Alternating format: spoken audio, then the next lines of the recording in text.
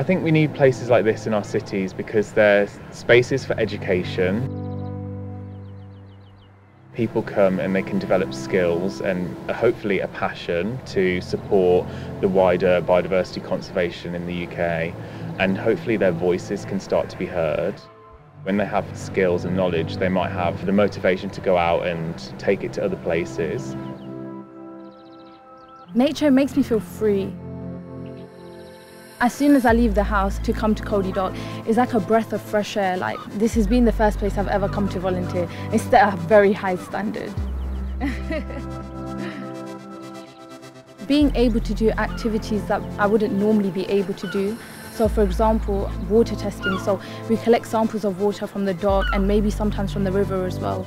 We test for different chemicals or we look at the samples of water and determine what species are living there. Um, and so that's really interesting and obviously I would never be able to have that opportunity otherwise. I've learnt so many skills that have helped me through my A levels and through my degree as well and it's helped me like navigate through everything. I love the fact that I can come down here and feel like I'm making a difference, that I'm preserving some biodiversity in the heart of the city and just help build this green space for other people to enjoy.